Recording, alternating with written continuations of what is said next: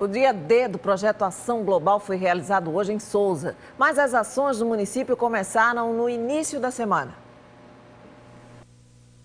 Um dos serviços mais procurados foi a retirada de documentos. Dona Marlene Lopes mora na zona rural de Souza e tirou o RG da filha caçula, de 14 anos, que precisa fazer tratamento médico na capital. Por vir na semana que ela estuda, né?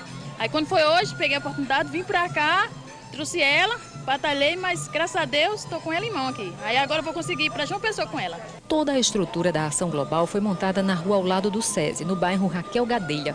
Foram oferecidos serviços de cidadania, saúde, educação, esporte, cultura e lazer.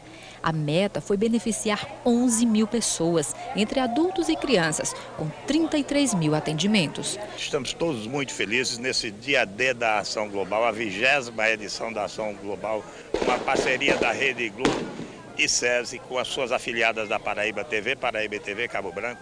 É realmente uma alegria muito grande estar aqui. No espaço Beleza dedicado às mulheres, elas fizeram limpeza de pele, maquiagem, corte e escova nos cabelos. Eu já fiz o eco, já fiz ultrassonografia, exames de mama e agora estou cuidando da beleza. As crianças também tiveram um cantinho reservado para elas, com muita brincadeira e diversão. Souza se destaca no evento porque é a única cidade do Brasil a realizar a ação global durante uma semana.